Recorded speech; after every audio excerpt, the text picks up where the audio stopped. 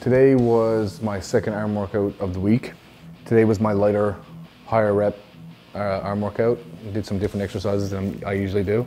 Train them heavy one day, train them light one day, just to, just to stimulate them in different ways to make them freaky as possible. If I feel it, I'll go heavy. And then if I have another day where I just want to get a good squeeze and, and do slow reps and just take it, take it easy, I'll do, I'll do like more of a, a lighter day, more of a pump day than a heavy day. And we started with EZ curl uh, bar, and uh, you know I think we did like 12, 15 reps, not heavy weight, uh, just concentrating on the squeeze and stuff.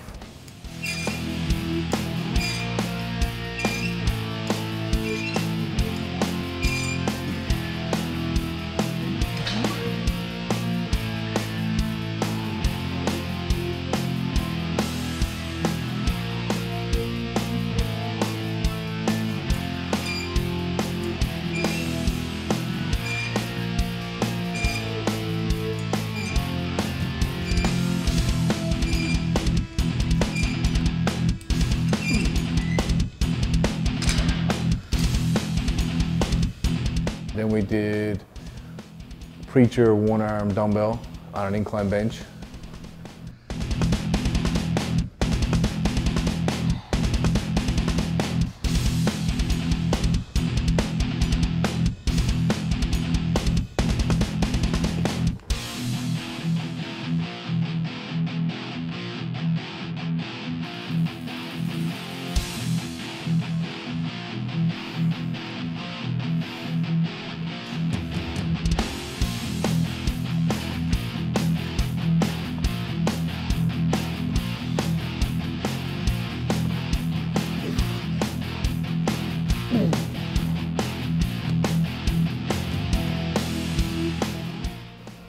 Then we jumped into rope hammers, cables, uh, that works, you know, not just your bicep, but forearm, brachialis, and everything to work the whole arm.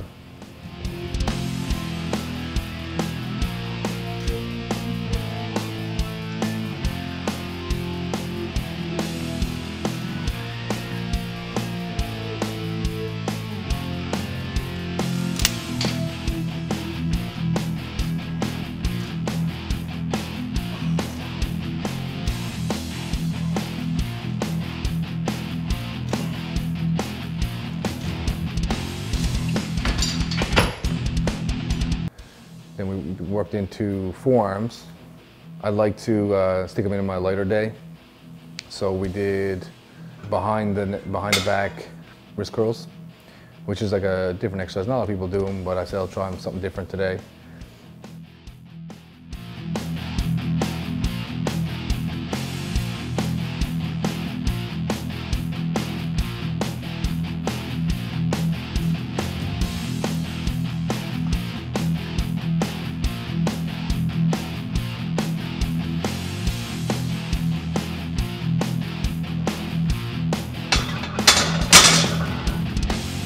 And one exercise I've never done before was dumbbell wrist curls, because I've seen a lot of people do them, I said I'll give it a try.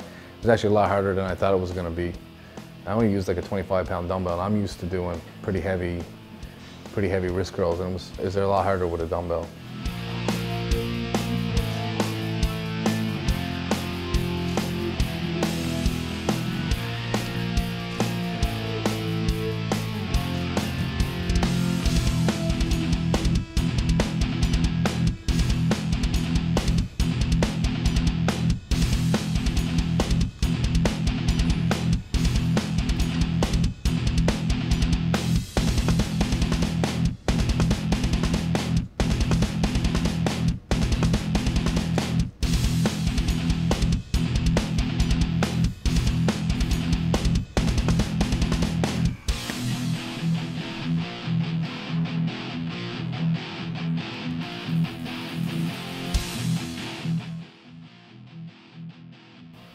Then we did some uh, reverse cable curls.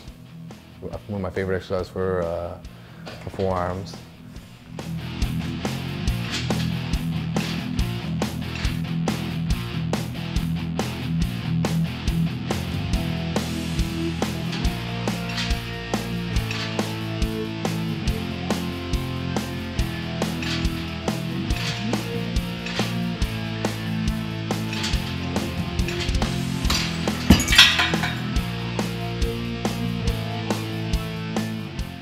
And then we did one old school exercise. I don't know if you guys, I'm sure everybody's tried it.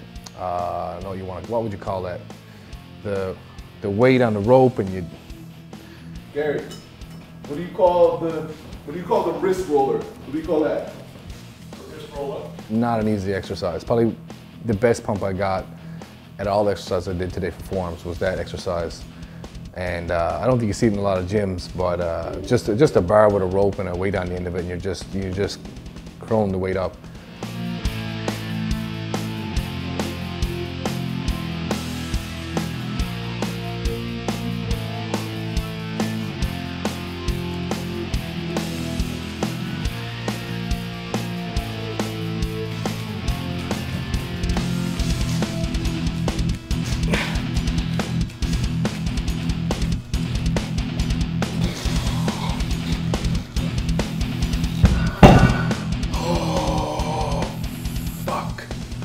Mean, I got a lot of people that tell me they don't have they don't have forearms, and I said, "Do you train them?" They go, "No, I just do arms." I'm like, "Well, there you go. You need to train them." Um, I, one thing I could tell you that I did personally for me, I don't, I, I can't say it was gonna work for everybody, but that I did, I stopped using straps on a lot of things. Um, I mean, there's times I do, unless I really needed it, unless it was like some crazy heavy deadlifts or something I really needed to use them. Uh, I think I see people doing like strapping up, doing dumbbells, nonsense that you don't even need to use straps for, or something that's really light. I think you're just you're just you know you're not you're not using your grip at all. Like doing chin ups with straps. I don't understand that. I mean, some people uh, think they're you know only known for forearms or they're only known for the calves or whatever. But you know what? That's that's pretty that's a good thing because if you're known for one body part and you got people all just people in all the world that train tra- train like crazy and want to have the best body parts and everything, you're one of the people of all these people that have one of the craziest. I mean, it's awesome. You'll be remembered for, remembered for a long time because you have something special about you. You know, you just don't blend in. You're so, you're a freak. You're something different. You know, you should embrace it and and go with it.